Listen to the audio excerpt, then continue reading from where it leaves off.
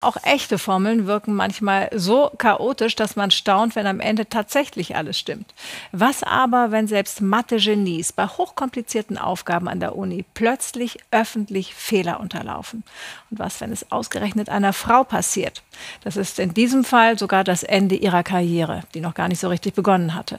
Darum geht es im Film Die Gleichung ihres Lebens und was man mit Mathe jenseits der Hochschule noch so alles anfangen kann. Benedikt Schäper. Ich definiere einen Hypergraphen durch R geteilt, gegeben x1, x2. Die Welt der Marguerite, sie besteht allein aus Zahlen. An ihrer männlich dominierten Elite-Universität aber ist die Mathematikerin immer noch ein Fremdkörper. Und als sie endlich ihre Doktorarbeit präsentieren darf, geht die Gleichung ihres Lebens plötzlich nicht mehr auf. Und wie machst du das?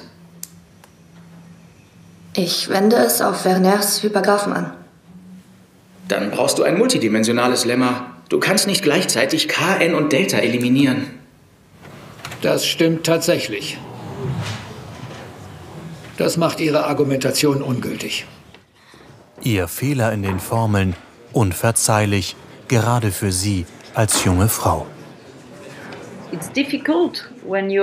Es ist schwierig, wenn man ganz allein ist in einem naturwissenschaftlichen Arbeitsumfeld, in dem es fast nur Männer gibt.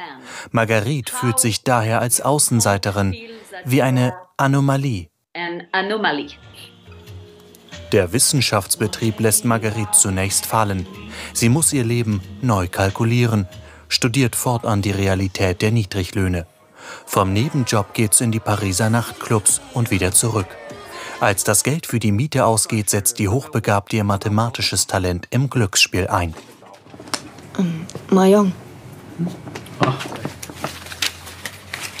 Ist sowas eigentlich nicht illegal?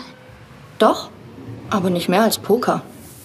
Marguerite lernt, was die Uni nicht lehrt. Jeder kann sich mal verrechnen. Den Zauber der Zahlen und Ziffern entdeckt sie neu und unverkrampft.